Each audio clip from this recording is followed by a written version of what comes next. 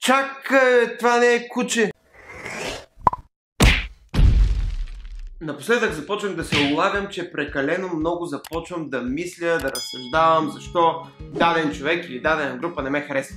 Оказва се, че това е изключително ползотворно и е нещо прекрасно някой да не ви харесва. Това е, нямате си представа колко градивно е за вас. Има един прекрасен лав на Аристотел, моя много голям приятел от детството, който каза, че който е приятел на всички, не е приятел на никого. И между другото, всеки от нас познава поне един такъв човек в живота си, поне веднъж е срещал.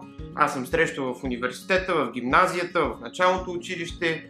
Човек, който никога няма собствено мнение. Той винаги си каже така нареченото политкоректно мнение, без да засегне едната страна, без да засегне другата страна. Никога не е в разпра с другите наоколо и за тях най-страшното нещо на земята е това някой да не ги харесва. Това са хора, които ако напсуваш, най-вероятно утре ще ти дадат шоколад. Ама не бъркайте двете неща, това не е добрина, това е липса на мнение и на характер. Това са хора, от които тече олио, това са хора, от които тече зехтин, това са хора, от които тече свинска маса. Това са хора, от които можеш да направиш маргарин, това са хора, от които можеш да направиш масло. Това са хора, които са масло. Човечеството някакси подкрепя конформизма.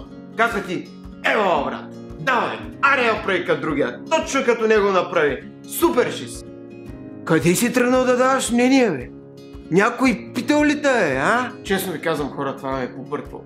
Да виждам как такива хора просто растат в иерархията три пъти по-бързо. Пък и в крайна сметка, кой не обича да го ласкаят? Да му казват колко е добър, да му казват колко е прекрасен и винаги е са съгласни с него. Може би и затова съдържанието, което качвам на този момент, винаги е с лека нотка на протест. С това да не казвам винаги как всичко е цветя и рози, защото то просто не е. А не да правя 25 минутни клипове с 78 пъти. Добро утро, милички! Как спахте днес? Пожелавам ви усмихната седмица и прекрасен понеделник!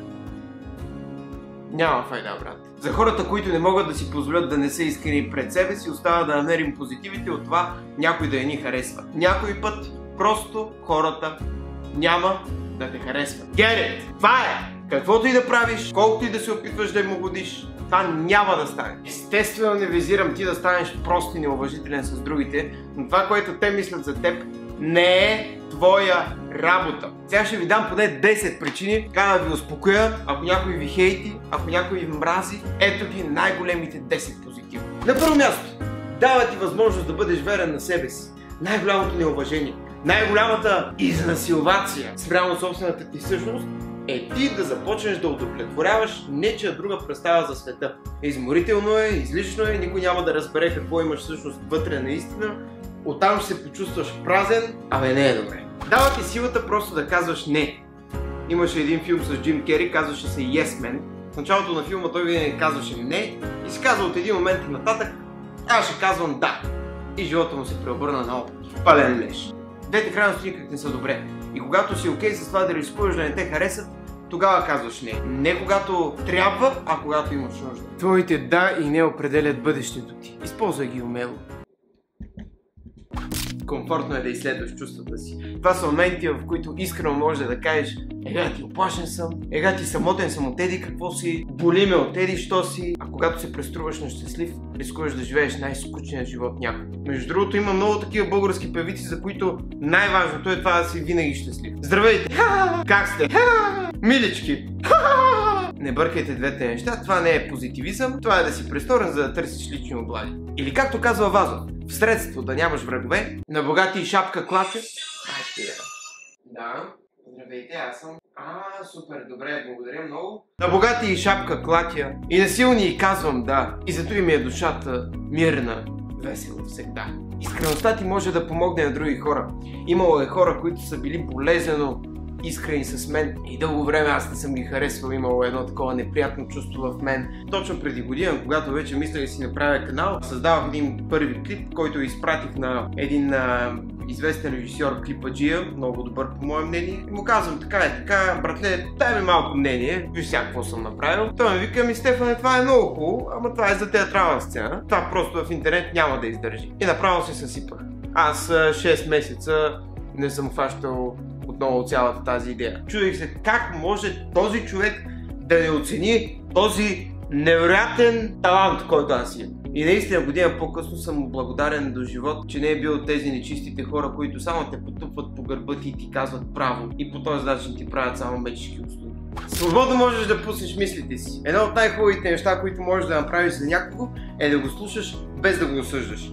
И в момента, в който си отвориш лекичко устата да кажеш нещо, хората ще започнат да си изграждат мнения за теб. Ма, само лекичко така, гък, и веднага имат мнение. Обаче ти продължи да говориш. Нека думите ти да са мили, ама безстрашни. Пригответе за по-голям успех. Да вземем който и да е Facebook статус мейкър, да му видим коментарите отдолу, те са винаги позитивни и негативни. Колкото повече се изкачваш нагоре в иерархията, толкова повече внимание получаваш, съответно толкова повече маймуните се накачуват на клона да те съдят. Готовността да не те харесат ти дава шанс да се справиш с завишения интерес. Учите да проявяваш разбиране и състрадание без да очакваш нищо в замяна. Много лесно е това да се случи с хора, които те харесват изначално, но пробвайте да го направите с хора, които не могат да те подасят и биха вкарали ножа в окото. Правилното в такъв случай е винаги да поднесеш едно разбиране към такива хора, но много е важно тук да отбележа разликата.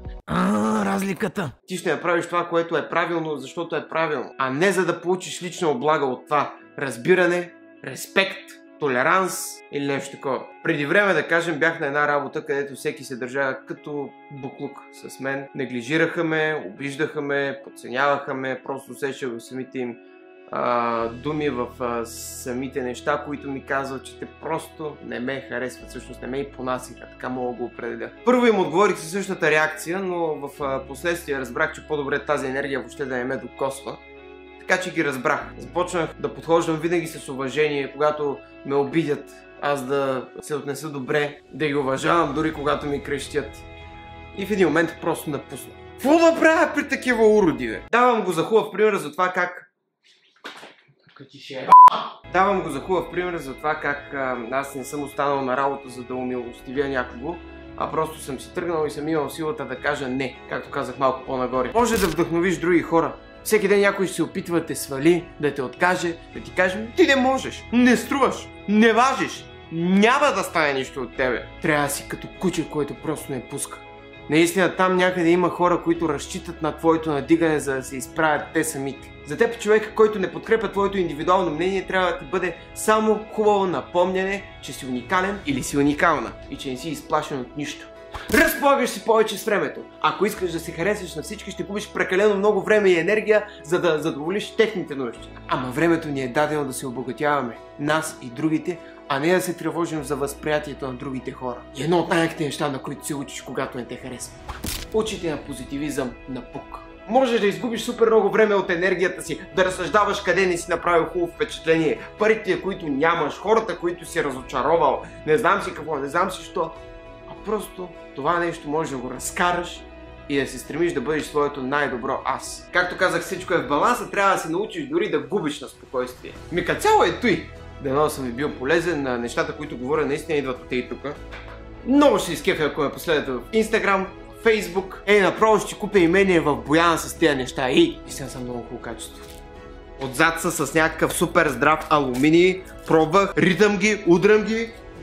Нищо няма, бе, човек. Ако искаш го огъвай, ако искаш го вари в тенджера, ако искаш го жигосвай, ще живее. Пишете ми само на лично съобщение в Instagram, ако желаете един от тях. Трудя се за вашия кеф, пичове. Продължаваме напред.